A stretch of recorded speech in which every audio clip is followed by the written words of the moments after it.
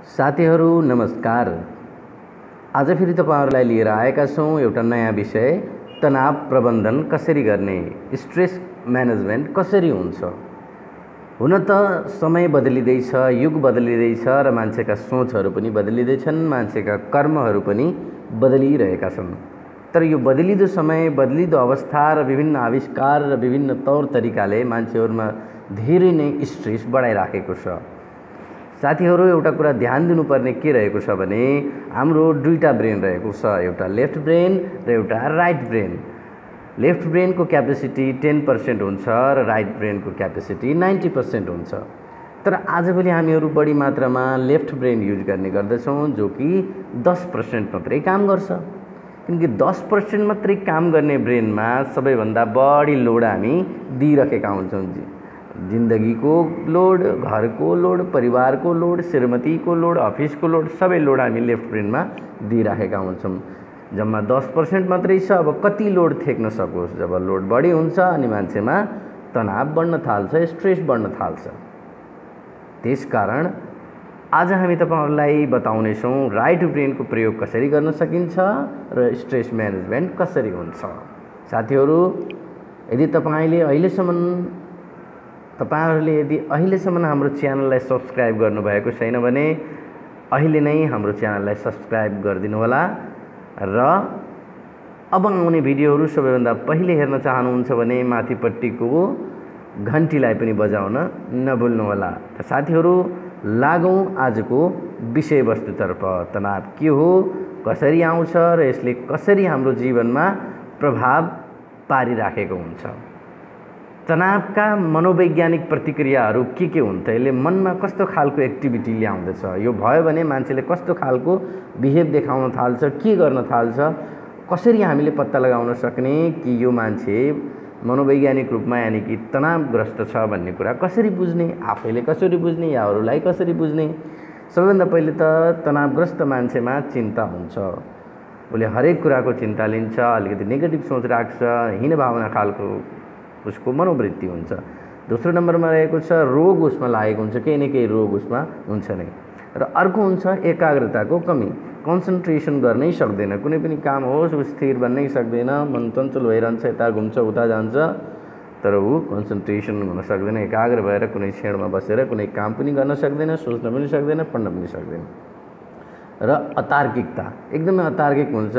Logical कुरै गर्न जान्दैन ऊ अन अनलोजिकल कुरा नै गरेर उसले समय व्यतीत गरेको हुन्छ बेफाकको कुरा गर्ने खालको जे मन लाग्यो त्यही बोलिदिने त्यस्तो खालको स्वभाव हुन्छ र विषाद हुन्छ एकदमै घबराउने चिन्ता हुने के गरौँ कसो गरौँ कता जाउँ होइन यस्तो खालको स्वभाव हुन्छ भाव शून्यता र अर्को रहेको छ भाव शून्यता निकै नै उसमा भाव नै हुँदैन ढुङ्गा जस्तो हुन्छ कुनै पनि क्रिया छैन प्रतिक्रिया छैन एकदम डल जस्तो ढुमढुम्ती बस्या होइन त्यस्तो खालको स्वभाव मान्छेमा आउँछ मनोवैज्ञानिक रूपमा र अर्को रहेको छ दैहिक शारीरिक प्रतिक्रियाहरू फिजिकल एक्टिभिटिजहरू त्यसको के हुन्छ? मतलब शरीरमा देखिने चाहिँ उसको परिवर्तन के हुन्छ? प्रतिक्रिया के हुन्छ? हृदय गतिमा वृद्धि हुन्छ। हृदयको गति छिटो छिटो हुन थाल्छ छिटो छिटो श्वास लिन छोड्ने होइन? ब्लड प्रेसर हाई हुने होइन? बिपीको समस्या पनि बढ्न सक्छ। र रक्तचाप बढ्छ। रक्तचापमा पनि परिवर्तन हुन्छ। ब्लड जुन सर्कुलेसन छ त्यसमा पनि अलिकति उतार चढाव हुन्छ। ब्लड सर्कुलेसन पनि चेन्ज हुन्छ। र अर्को रहेको छ मांसपेसीमा लचिलोपन मास मांसपेसीमा लचिलोपन भन्नुको मतलब शरीर एकदमै झोला जस्तो हुने छाला एकदम सुडोल हुनुपर्ने शरीरमा एकदम टमक्क टाँसिएको हुनुपर्ने हुनुमा एकदम लत्र्या जस्तो फुले जस्तो होइन हल्का देखिने होइन एकदम अनुहारमा पनि चमक नदेखिने एकदम छाला पनि एकदम उक्किला कि जस्तो होइन यसरी कोट्यायो भने जाला कि जस्तो त्यस्तो खालको देखिन्छ। त्यसपछि रहेको छ तनाव र हाम्रो सम्बन्ध के रहेको छ? एउटा शारीरिक सम्बन्ध रहेको छ एउटा मानसिक सम्बन्ध। र तनावका शारीरिक सम्बन्धहरू के के हुन्? शरीरमा दुखाइ हुन्छ सबभन्दा पहिले त। त्यसपछि शारीरिक थकानको पनि महसुस हुन्छ। हृदय रोग बढ्छ होइन हृदय सम्बन्धी रोगहरू होइन। त्यो बढ्न थाल्छ ब्लड प्रेसर आदि इत्यादि जति पनि हृदय सम्बन्धी रोगहरू रहेका छन् यो बढ्न थाल्छ। रोग प्रतिरोधात्मक क्षमताको कमी हुन्छ। यो इम्युन सिस्टम इम्युन पावर एकदमै कम हुन्छ होइन? कुनै काम गर्नको लागि ऊ तत्पर भएर लाग्नै सक्दैन होइन? मन पुरै लगाउनै सक्दैन किनकि जब रोग प्रतिरोधात्मक शक्ति कम हुँदै जान्छ इम्युन सिस्टम डाउन हुन्छ त्यसपछि रोग बढी बढ्दै जाने हो। किनकि रोगसँग लड्ने भनेकै इम्युन सिस्टम स्ट्रङ भएर मतलब कि रोग प्रतिरोधात्मक शक्ति बढी भएका मान्छेहरूलाई रोग लाग्दैन र रहेको छ तनावका मानसिक सम्बन्ध के के हुन् भुल्ने बानी हुन्छ सबभन्दा पहिले त ध्यान दिनु होला यदि तपाईँलाई पनि भुल्ने बानी छ भने कहीँ न कहीँ तपाईँलाई पनि केही हदसम्म छोइराखेको छ र अर्को रहेको छ नकारात्मक विचारहरू आउँछ सबैभन्दा बढी नकारात्मक विचारहरू आउँछ त्यसपछि गल्तीहरूमा वृद्धि हुन्छ आज दुईवटा गल्ती भोलि तिन तिनवटा पछि चारवटा यस्तै गरी गल्ती। बढ्दै बढ्दै जान्छ। निर्णय लिन कठिनाइ हुन्छ मतलब कन्फिडेन्टै हुँदैन मतलब कि डिसिजन मेकिङमा एकदम लो हुन्छ। के गरौँ कसो गरौँ टुङ्गै हुँदैन। रहेको छ तनाव प्रबन्धनका उपायहरू। अब तनावलाई कसरी म्यानेजमेन्ट गर्न सकिन्छ? मुख्य विषय आएको छ किनकि तनाव त विभिन्न किसिमबाट मान्छेहरूलाई लागिरहेको छ मान्छेहरू प्रब्लममा छन्। कोही घरको प्रब्लमबाट छन् कुनै श्रीमतीको प्रब्लमबाट छन् कोही अफिस बस होइन राष्ट्र कोही ग्लोबलाइजेसन कसैलाई केही बढी बढी चाहिँ एम्बिसनहरू छ बढी महत्त्वाकाङ्क्षाहरू छ ती कारणहरूले अनेक कारणहरूले तपाईँमा चाहिँ स्ट्रेस हुनसक्छ। तर त्यो स्ट्रेसको म्यानेजमेन्ट कसरी हुन्छ त मुख्य विषयमा हामी प्रवेश गरेका छौँ स्ट्रेसको म्यानेजमेन्ट। तनाव प्रबन्धनहरू कति किसिमबाट गर्न सकिन्छ कुन कुन वेबाट चाहिँ तनावको व्यवस्थापन हुनसक्छ म्यानेजमेन्ट हुनसक्छ त्यो हेर्न सक्नुहुन्छ। सबैभन्दा पहिले त डाइट एन्ड न्युट्रिसन तपाईँले चेक गर्न सक्नुहुन्छ। त्यो डाइट एन्ड न्युट्रिसनको गडबडी होइन तपाईँको खानपिन ठिक नहुनाले पनि तनाव बढ्न सक्छ। तर खानपिन चेक गर्नुभयो भने पनि तनाव घट्न सक्छ। यो कुरा ख्याल गर्नु होला यी दुवै कुराहरू अप्लाई हुन्छ। नम्बर एकमा आहारको परीक्षण गर्नुभयो भने तनाव कम हुँदै जान्छ। र रहेको छ विश्राम। विश्राम गर्नुभयो एकदमै रिल्याक्सेसनको कमी छ आजभोलि मान्छेमा। यदि रिल्याक्सेसन प्रपर रिल्याक्सेसन गर्न सकियो भने तनाव घटेर जान्छ। र तेस्रो नम्बरमा रहेको छ व्यायाम। हामीले चाहिँ एक्सर्साइज गर्न छोडेका छौँ। यदि डेली केही न केही तपाईँले ट्वेन्टीदेखि थर्टी मिनट वान आवर जति तपाईँको टाइम छ त्यही अनुसार चाहिँ तपाईँले व्यायाम गर्न थाल्नुभयो भने पनि स्ट्रेसको म्यानेजमेन्ट हुन थाल्छ। र त्यसपछि रहेको छ सेयरिङ सबैभन्दा इम्पोर्टेन्ट विषय त यो रहेको छ कि आजभोलि मान्छेहरू आफ्नो गोप्य कुराहरू नै किन लुकाएर राख्छन् बताउँदै बताउँदैनन्। त्यस कारण तपाईँको कुनै न कुनै यस्तो व्यक्ति हुनैपर्छ जसलाई तपाईँले आफ्नो मनको कुराहरू आफ्नो पीडाहरू आफ्नो दर्दहरू आफूमा रहेका सम्पूर्ण जति पनि ती भावनाहरू छन् ती भावनाहरूलाई सेयर गर्ने एउटा व्यक्ति अवश्य हुनुपर्दछ। सेयर गर्नाले मन हल्का हुन्छ स्ट्रेस कम हुन्छ। त्यसपछि रहेको छ खेल चिकित्सा। गेम्सहरूमा चाहिँ इन्भल्भ गर्ने आफू आफूलाई त्यो गर्नुभयो भने पनि स्ट्रेस म्यानेज हुन्छ। त्यसपछि भ्रमण। एकदमै ट्राभलिङ गर्ने कहिलेकाहीँ होइन आफूलाई चाहिँ फ्री बनाउने त्यसले पनि स्ट्रेसको म्यानेजमेन्ट गरिदिन्छ। सङ्गीत चिकित्सा मतलब म्युजिक थेरापिजहरू तपाईँले लिन सक्नुहुन्छ। म्युजिक थेरापिजहरूमा चाहिँ मेडिटेसन साउन्ड बलहरू साउन्ड बलहरूको चाहिँ युज गर्न सक्नुहुन्छ। र घरमा इन्स्ट्रुमेन्टल सङ लगाएर चाहिँ बिहानमा सुन्ने र इन्स्ट्रुमेन्टल सङमै तपाईँले चाहिँ मेडिटेसन गर्न सक्नुहुन्छ। यदि मेडिटेसन गर्नुभयो भने तपाईँको स्ट्रेस डाउन हुँदै जान्छ स्ट्रेस हट्दै जान्छ त्यसपछि रहेको छ योग ध्यान निकै नै इम्पोर्टेन्ट विषय रहेको छ योग ध्यान योगा मेडिटेसन डेली लाइफमा कुनै न कुनै किसिमले चाहिँ तपाईँले योगा मेडिटेसनलाई अप्लाई गर्नुभयो भने त्यो योगा मेडिटेसनले तपाईँलाई के गर्छ? तपाईँको स्ट्रेस भगाउन मद्दत गर्छ। र त्यसपछि रहेको छ रङ्ग चिकित्सा कलर थेरापी भनेर बुझ्न सक्छौँ। विभिन्न कलरहरूबाट पनि तपाईँको स्ट्रेसलाई म्यानेज गर्न सकिन्छ। र विभिन्न हिलिङका प्रोसेसिङहरू छन् अल्टरनेटिभ थेरापिजको माध्यमबाट पनि तपाईँले आफ्नो स्ट्रेसलाई चाहिँ म्यानेज गर्न सक्नुहुन्छ। र सबैभन्दा पहिले रहेको छ आहार परीक्षण कसरी गर्ने होइन? तपाईँले खाइरहेको खाना चाहिँ कस्तो छ? त्यसबाट चाहिँ कसरी चाहिँ स्ट्रेस म्यानेजमेन्ट गर्न सकिन्छ? त्यो कुरा सुन्न सक्नुहुन्छ। सबभन्दा पहिले त सब्जी कस्तो खाँदै हुनुहुन्छ होइन? कुन टाइममा खाँदै हुनुहुन्छ? त्यो सब्जी कुन टाइममा खाँदै हुनुहुन्छ? त्यो टाइममा त्यो सब्जी खानु हुन्छ कि हुँदैन? यसको प्रपर नलेज तपाईँसँग हुनुपर्दछ। र त्यसपछि फल। कुन टाइममा कुन फल खाने? र मेरो बडीको नेचर अनुसार मलाई कुन फल अथवा चाहिँ कुन फुड अथवा चाहिँ कुन फ्रुट युज फुल छ होइन? कुन फुल फ्रुट चाहिँ काम गर्छ त्यो चिज चाहिँ तपाईँले याद गर्नुपर्छ। र त्यसपछि रहेको छ कार्बोहाइड्रेट। तपाईँले कार्बोहाइड्रेटको मात्रा कति चाहिएको छ अथवा चाहिएको छैन के छ होइन तपाईँले आफ्नो बडीको चाहिँ चेकअप गराएर चाहिँ पत्ता लगाउन सक्नुहुनेछ। भिटमिन्सहरूको एउटा म्यानेजमेन्ट हुनुपर्छ भिटमिन्सहरूको लेभल्सहरू के छ होइन? त्यो पनि पत्ता गर्न सक्नुहुन्छ। आयोडिनको मात्रा के छ यो पनि बुझ्न सक्नुहुन्छ। यो आहार परीक्षण अन्तर्गतको होइन? डाइट न्युट्रिसनमा। र उचित जलको मात्रा। अनि कि डेली लाइफमा चाहिँ तपाईँले चाहिँ आठदेखि दस ग्लास चाहिँ पानी डेली पिउनै पर्छ किन त्यस्तो खालको एउटा रुटिन बनाउनुपर्छ। किनकि पानी भनेको जिन्दगानी हो। जस्तो खान्छौँ अन्न त्यस्तै बन्छ मन जस्तो पिउँछौँ पानी त्यस्तै जिन्दगानी भनेर पनि भनिएको छ। र त्यसपछि रहेको छ विश्राम।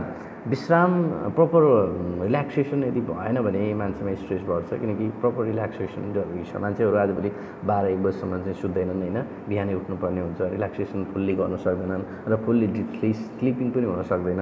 यदि डिप स्लिपिङ भयो भने पनि मान्छेको रिल्याक्सेसन हुन्छ र स्ट्रेस हट्छ कमसेकम छ घन्टा विश्राम लिनुपर्छ। छ घन्टा चाहिँ रिल्याक्सेसन हजुरहरूको हुनुपर्छ। बिना कुनै बाध्यता त्यो पनि बिना कुनै बाध्यता चाहिँ एकदम रिल्याक्सेसन हुनु पऱ्यो र रहेको छ व्यायाम। एक्सर्साइज प्रपर एक्सर्साइज कमसेकम पन्ध्र मिनट चाहिँ एक्सर्साइज गर्नुपर्छ। पसिना आउन्जेल चाहिँ तपाईँले व्यायाम गर्नुपर्ने हुन्छ। कुनै पनि गर्नुहोस् खेल खेल्नुहोस् होइन? योगा मेडिटेसन गर्नुहोस् जिम जानुहोस्। केही न केही गर्नुहोस्। त्यसपछि रहेको छ सेयरिङ जोसँग हामी विश्वास गर्छौँ त्यो मान्छेसँग आफ्नो मनका कुराहरू सेयर गर्ने। साथी परिवार सदस्य जो पनि तपाईँले बनाउनु भएको छ त्योसँग आफ्ना दुःखहरू सेयर गर्न सक्नुहुन्छ सुखहरू।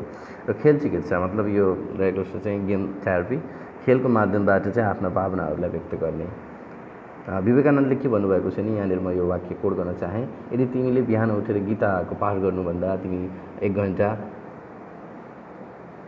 तपाईँ फुटबल खेल्न सक्नुहुन्छ यस्तो खालको भनाइ विवेकानन्दको रहेको छ।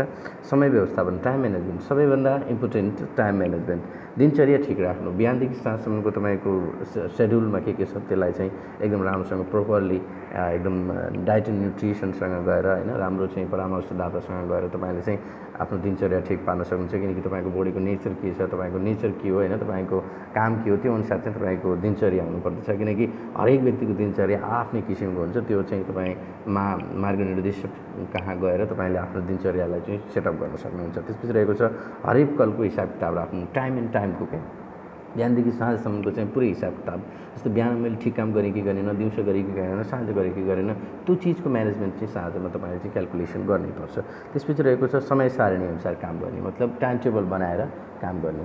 र अन्तिममा रहेको छ यो प्रातःकाल भ्रमण गर्ने। वाल्किङको जुन सिस्टम रहेको छ हामी होइन योगिङ जगिङ गर्ने सिस्टम रहेको छ। वाल्किङ गर्न सकिन्छ सायङ्कालमा र देशाटन घुम्ने भ्रमण गर्ने। र रहेको छ सङ्गीत चिकित्सा म्युजिक थेरापी शान्त एवं मधुर शास्त्रीय सङ्गीत बाँसुरी सन्तुर सितार आदि म्युजिकमा चाहिँ मेडिटेसन गर्ने र सुन्ने यस्तो खालको बानी हुनुपर्छ। र मनोवैज्ञानिक चिकित्सा यसको के के हुनसक्दछ त्यसको बारेमा पनि अलिकति हल्का तपाईँलाई जानकारी दिन्छौँ। आत्मविश्लेषण गर्नु पऱ्यो होइन सेल्फ इभ्यालुएसन सबभन्दा पहिले त होइन? सेल्फ रियलाइजेसन सेल्फ इभ्यालुएसन होइन? त्यो सेल्फ रियलाइजेसन यो चिजलाई चाहिँ तपाईँले आफ्नो जीवनमा अप्नाउन सक्नुहुन्छ। सकारात्मक सोच पोजिटिभ एटिट्युड पोजिटिभ थिङ्किङ होइन? आत्मविश्वास कन्फिडेन्ट बिल्डअप पऱ्यो होइन? एक मुस्कान हरेक समय चाहिँ मुस्कुराउने प्रयास पऱ्यो अति अपेक्षा कम पऱ्यो होइन? धेरै एम्बिसनहरू राख्नु भएन होइन? एक्सपेक्टेसन पनि धेरै राख्नु भएन।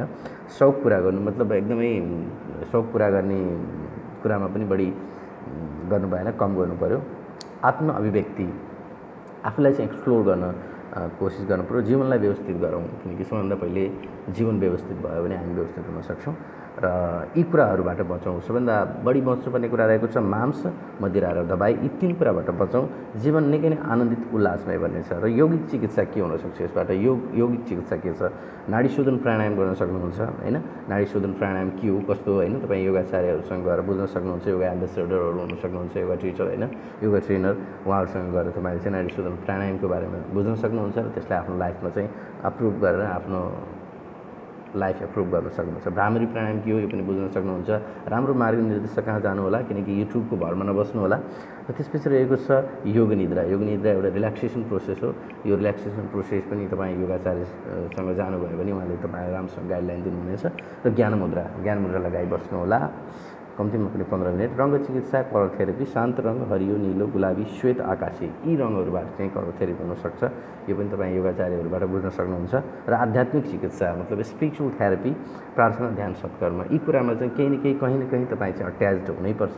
यो कुरामा यदि अट्याच्ड हुनुभयो भने तपाईँको जीवन निकै नै उल्लासमय बन्नेछ र तपाईँको स्ट्रेसहरू हटेर जानेछ। तपाईँहरूलाई धेरै धेरै धन्यवाद छ। हाम्रो भिडियो यतिखेरसम्म सुनिदिनु भयो हेरिदिनु भयो त्यसको लागि धेरै धेरै धन्यवाद छ। हाम्रो यो भिडियोलाई मन पऱ्यो भने लाइक गर्नुहोस् कमेन्ट गर्नुहोस्। अब आउने भिडियो कुन विषयमा हेर्न चाहनुहुन्छ त्यो पनि कमेन्टमा लेख्नुहोस् र हाम्रो च्यानललाई सब्सक्राइब गर्न नभुल्नुहोस् नभुल्नुहोस्।